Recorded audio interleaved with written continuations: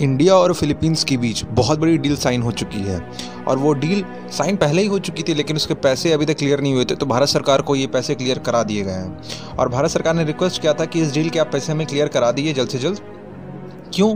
और इस पर डील पर क्या हुआ है, आपको मालूम ही होगा, ब्रह्मोस बैलिस्टिक मिसाइल 30 दिसंबर तक भारत और फिलीपींस जल्द ही अंतिम सरकारी ब्रह्मोस मिसाइल सौदे को अंतिम रूप दे सकते हैं।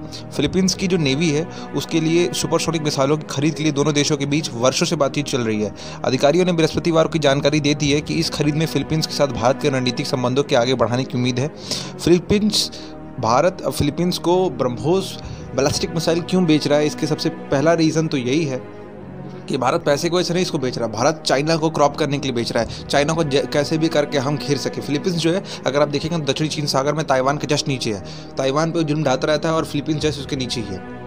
ठीक है, इस खरीद से फिलीपींस और भारत के जो संबंध अच्छे होंगे, वो तो होंगे ही होंगे। फिलीपींस दक्षिणी चीन सागर में चीन के साथ अपने लंबे समय से चल रहे टकराव के मद्देनजर अपनी नौसेना को और मज़बूत करना चाहता है। इसलिए फिलीपींस ने इंडिया से रिक्वेस्ट की थी बहुत पहले कि हमें ब्रह्मोस से मिसाइल दे दीजिए। तो ब्रह्मोस के लिए डील सब कुछ हो चुकी थी। अब इसके लिए जो पैसे बाकी थे उस पैसे को भी उन्होंने क्लियर कर दिया। अधिकारी ने बताया कि ब्रह्मोस सौदे पर बातचीत लगभग पूरी हो चुकी है और दोनों पक्ष अगले कुछ हफ़्ते में करार को औपचारिक रूप देने के लिए तैयार हो जाएँगे। ब्रह्मोस सुपरसोनिक एरोस्पेस भारत रूस संयुक्त उद्यम है।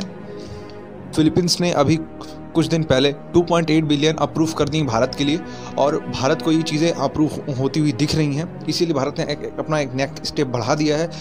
अगर फिलीपींस के पास ब्रह्मोर, ब्रह्मोस मिसाइल पहुँच जाती हैं तो कहीं ना कहीं भारत के लिए बहुत अच्छी चीज़ हो जाएगी और भारत का थोड़ा सा इस पर जो प्रेशर है वो थोड़ा कम हो जाएगा क्योंकि फिलीपींस जो है ब्रह्मोस इंडिया की मिसाइल से चाइना को टक्कर देने के लिए कामयाब उदाहरण है।